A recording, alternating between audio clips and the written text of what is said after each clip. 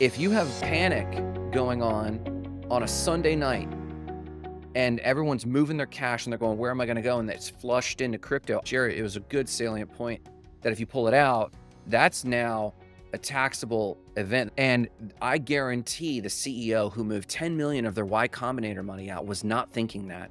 But now that the dust is settled, their legal team and their tax team are like, wait, do not move that back out yet. We really need to know what we're doing.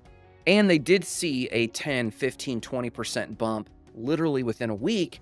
So they went from 10 million to 20 million in Bitcoin. That's scary on its own because you want to secure profits. So it's an interesting concept. I would agree with that. But Austin, could you please unpack for me what on ramps are disappearing?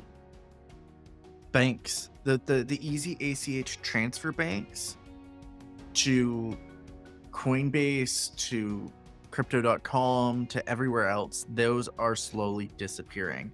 Yes, I see Allison. Allison Banks. Yes, I, I, I play the middle ground.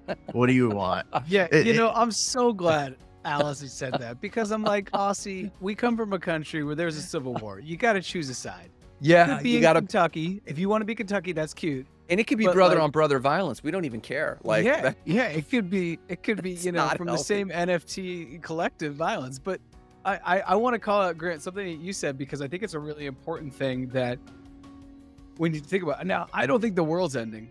I just think the water's heating up, and we're just sitting there like, oh, it's not that bad. Oh, it could be worse. Well, the banking crisis didn't happen, so it could be worse. But I'm sitting here like, all we're doing is avoiding short-term uncomfort for long-term pain because we're just printing more money.